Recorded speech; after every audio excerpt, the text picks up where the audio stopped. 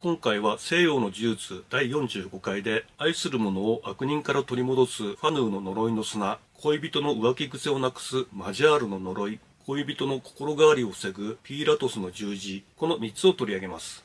それではエネルギーを送る前に、このチャンネルでは皆さんの人生を明るく楽しくする動画を送りますので、チャンネル登録をぜひよろしくお願いいたします。それではまず最初に、愛する者を悪人から取り戻すファヌーの呪いの砂のエネルギーです。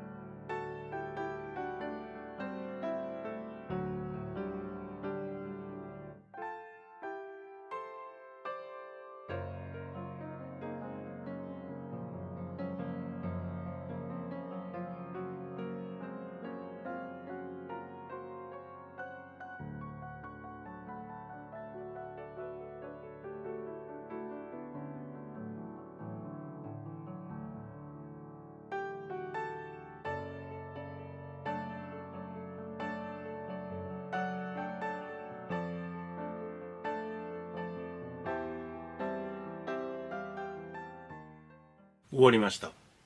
次は恋人の浮気癖をなくすマジャールの呪いのエネルギーです。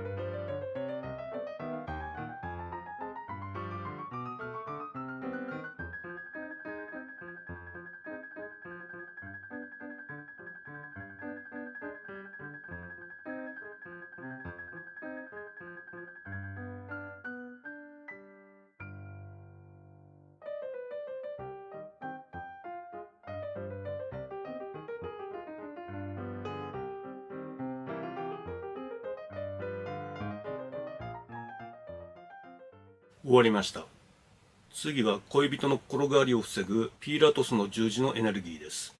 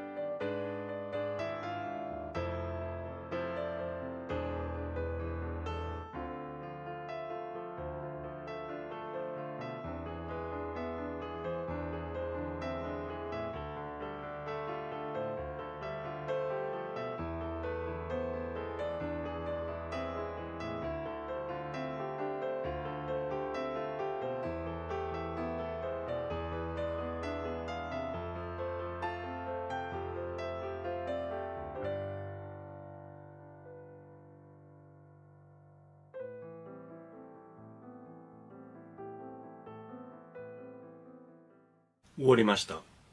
今回は以上です。ご視聴ありがとうございました。